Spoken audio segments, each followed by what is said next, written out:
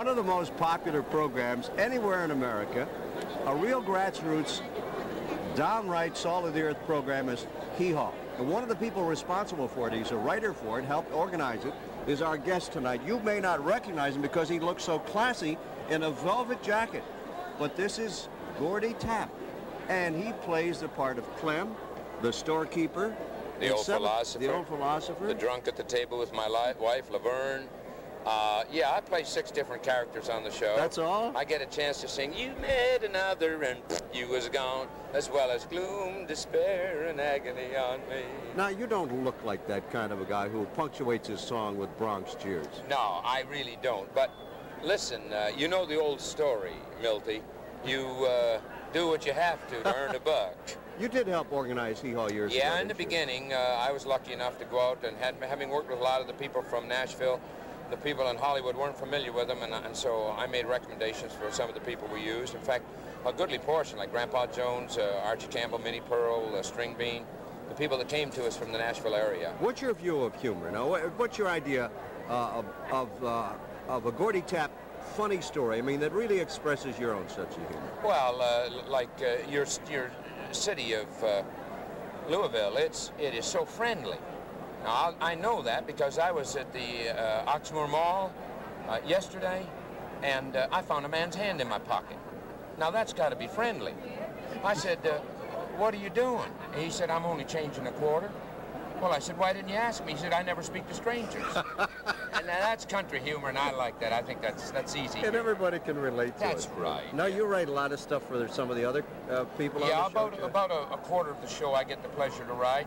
I just finished. In fact, coming down on the airplane, I just wrote the last of what we call wild lines. That's where Lulu gets in trouble, and I come on and I say, "Oh, come on, Lulu, don't worry. Come on and sit down beside me. There are two chairs over here."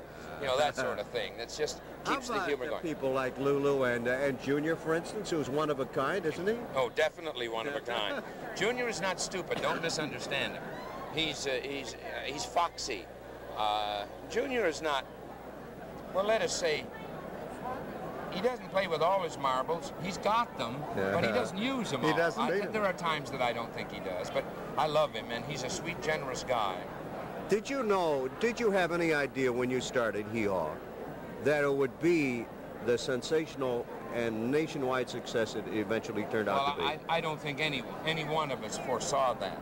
But I had a great deal of faith in it, Milty, right from the very beginning. When I saw the first takes off, I said, gosh, this thing has got to go because it's so, it's so people-oriented. Yeah. You can sit and look at it, and if there's something you don't like, wait 30 seconds, and there's something different. That's Am I right. Now, you write some of the cornfield stuff? Oh, yeah, a lot of cornfield. You write any of the barbershop material? I wrote two this three this time. Yeah. And uh, I have often gone to Archie. In fact, uh, uh, do you remember the one about Mel Famey, the uh, the baseball pitcher? You know, the that made Mel Famey walk. Oh, yes, yeah, limit? yes, the- Well, that the was, pun, I right. took that Did you do that one? And uh, I didn't write it originally. No, I'm not claiming that. Well, go ahead, sell it. Go on. Right, And I took him. I took him the one where I come in with the with the gun to hold him up, and uh, he wants to he wants to give me an IOU, and I hand him the gun while he signs it. All that sort of thing.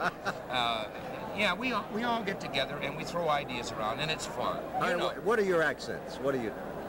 well, I can do probably about uh, 10 accents. Uh, I do the English accent. Of course, doing accents is not just doing accents, because in England alone you must have 50 or 60 Yes. different accents. And of course I do Scottish, and I've worked at that for a lot of years. I go over to Europe twice, a, twice, uh, or once every two years, and I take a tape recorder, and I go into a place like Ireland, and I sit down and I listen to them talk, and when I do, I tape it all, and then I bring it home and work on it, so that, and I think the secret of, of a good dialect is not trying to do it so broadly. Just make it modern, and people appreciate it. I love it, Gordie. Love Thank it you too. very much. It's a pleasure. It's great to have you on our channel. May I say how wonderful it is to be here, not only for Kosair Hospital and for Foster, but for the people of Louisville. They have been so, going around the golf course today, they're stopping and giving us beers. Cue it over to Faith. Ki- Oh, Faith, will you take over? I think Milty and I have had it long enough. Thanks a million. Thank you.